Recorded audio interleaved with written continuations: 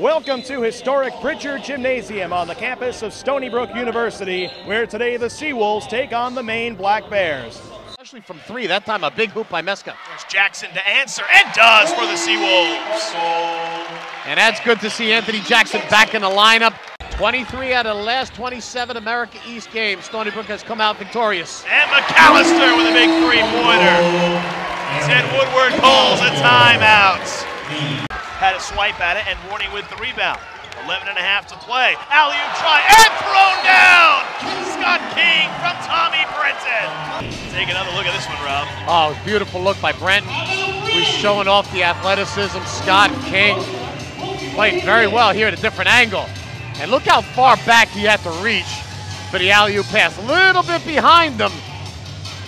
The outstretched hands. That was near the top of the box. That was very, very impressive. You think that one will make it onto the year-end highlight reel? Oh, absolutely. We should, they should send that one in to ESPN. That could make top 10 plays of the day. Man, it really could.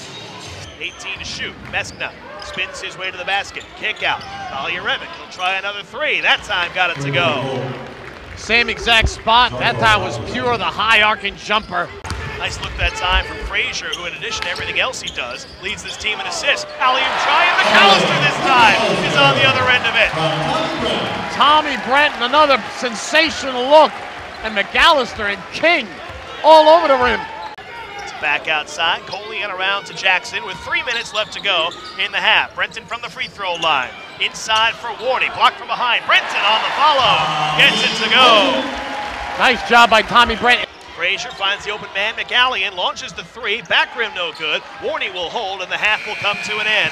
Seawolves go up 31-22 into the locker room. Solid first half for Stony Brook.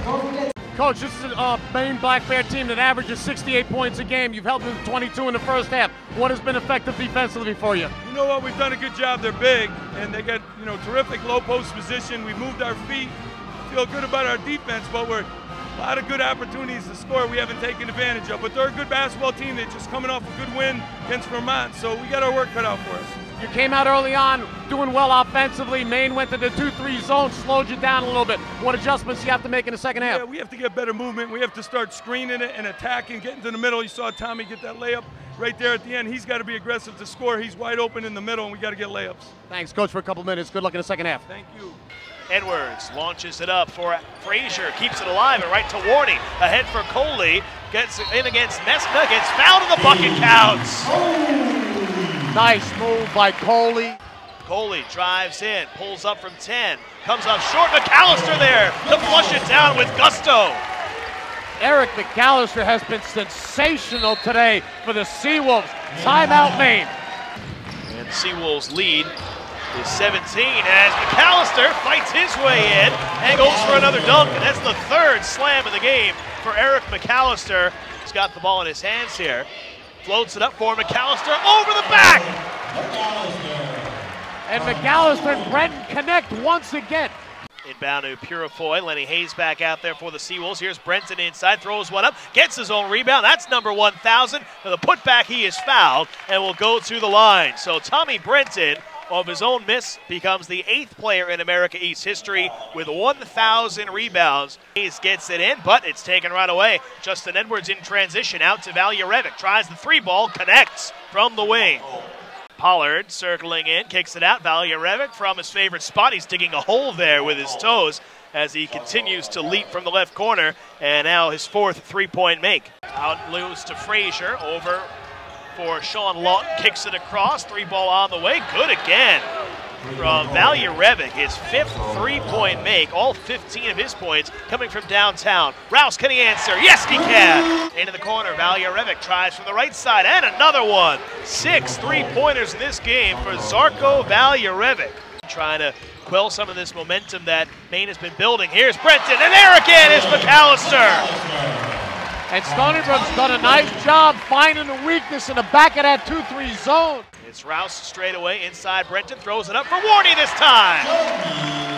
And Tommy Brenton is just toying with this Maine defense at every opportunity. Out for Pollard to Valjarevic again. Another one. Seventh three-point make for Zarko Valjarevic. and they're going to allow the Seawolves to dribble out the final seconds. Three seconds left to go. The Seawolves win this one by double figures, 79 to 69. An impressive performance for Stony Brook. Coach, with Warney a little banged up inside, how important was the play you got out of Eric McAllister today? He had a career high 22.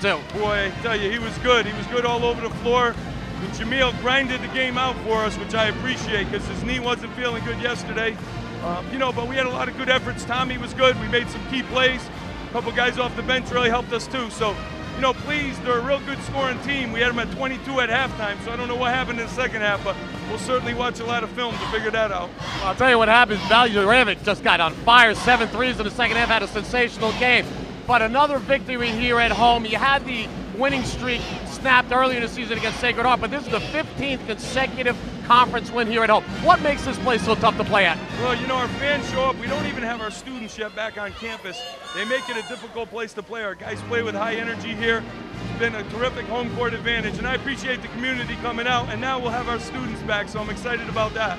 Coach, congratulations on another terrific victory, and best of luck the rest of the way. Thank you very much. Once again, the final score tonight, the Seawolves 79, Maine 69. My broadcast partner, Rob Pavanelli, this is Mike Solano saying a good night from Stony Brook. You've been watching Seawolves basketball on Optimum Local.